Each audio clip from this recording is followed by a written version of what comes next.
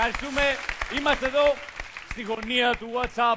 Ο διαγωνισμός Stand Up by WhatsApp συνεχίζεται. Την περασμένη εβδομάδα σας ζητήσαμε να μπείτε στο www.megatv.com κάθετος κάψτε το σενάριο και να συμπληρώσετε την ατάκα που ήταν. Ξέρεις ότι η ζέστη είναι υπερβολική όταν. Α δούμε λοιπόν τις δημοφιλέστερες ατάκες όπως προέκυψαν από την online ψηφοφορία. Ξέρεις ότι η ζέστη είναι υπερβολική όταν νομίζεις ότι η ατάκα σου γίνεται σκετσάκι με τον Ουγγαρέζο ενώ δεν κερδίζει. Ξέρεις ότι η ζέστη είναι υπερβολική όταν υδρώνεις από το Μάιο και κάπου μέσα στον Αύγουστο έχεις πτυχίο στα αραβικά.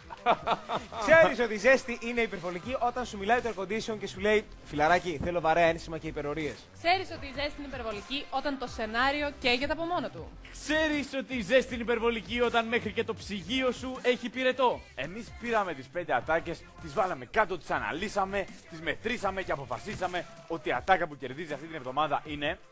Ξέρεις ότι η ζέστη είναι υπερβολική όταν σου μιλάει το air condition και σου λέει Φιλαράκι, θέλω παρέα ένσημα και υπερορίες. Νικητής!